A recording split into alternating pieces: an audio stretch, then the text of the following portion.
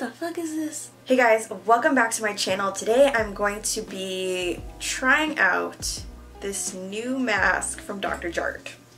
If you guys don't know, Dr. Jart is known for their incredibly creepy face masks. This is their latest creep show. Why?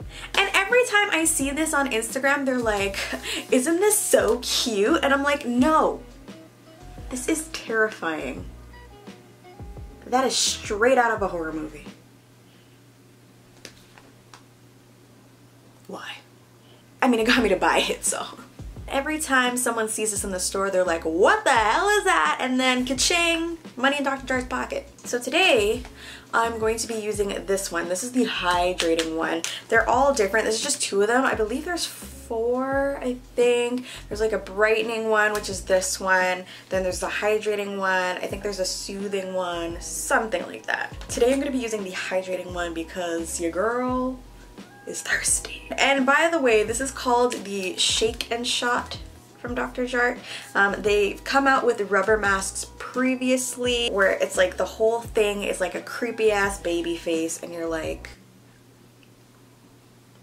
so it has the instructions on what to do over here. I've never tried one of these. This is a first impressions. So I'm going to open this up and inside, oh, it has a little spatula. Okay, so the straw is actually a spatula that you use to apply the mask. Good to know. And then inside, it's got these. So it's like two parts. So this is step one and this is step two looks like. So we're gonna mix these two together and then it's gonna create a mask that we're gonna put on our face and it's gonna dry down and then you peel it off. I've never had a hydrating peel off mask before. That seems kind of weird, but let's see. Okay, so now that my hair is out of the way, let's get into this. So what we're gonna do is we're gonna take the container that it came in and we're just gonna plop these two together and mix it with the spatula. This is so cool. I love this. The little straw. It says, shake a cocktail, give it a shot. Step one is open and remove the spatula from the lid. Done. Step two, combine both. Step one, the super booster, which is this one. And then step two, which is the liquid ampule in the cup. And then we're gonna close the lid and cover the hole with your finger. So cover the for the baby's mouth. Why is this so disturbing? That is what the inside of it looks like. That looks so disgusting. It's a really thick consistency, so I have to like squeeze it down to the end. Squeeze it down like a tube of toothpaste. And then this one is like completely liquid, like you can see the liquid moving around. Then you want to put the cover back on, cover the baby's mouth, and shake it. Oh, I feel it getting thicker. Oh, okay. I don't know how long I'm supposed to shake this for, but it feels done.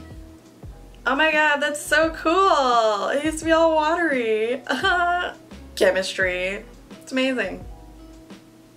Okay.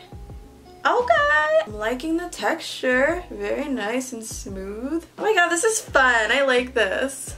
Ooh. Ew. I'm so sorry guys. I don't know I don't know how to put on face masks in a pretty way. If anyone could please instruct me on how to put on a face mask in a pretty way, I would I would love it. Like look ha bruh. This mask is really creamy and hydrating, so I don't understand how this is gonna dry down and peel off. Okay, so now it says leave on for 15 to 20 minutes and then afterwards we can peel off the mask. At this point in time, I don't see how this is gonna peel off my face. How's she gonna dry down and peel off? She creamy. Stay tuned, we'll see. What should we do in these 15 minutes, guys?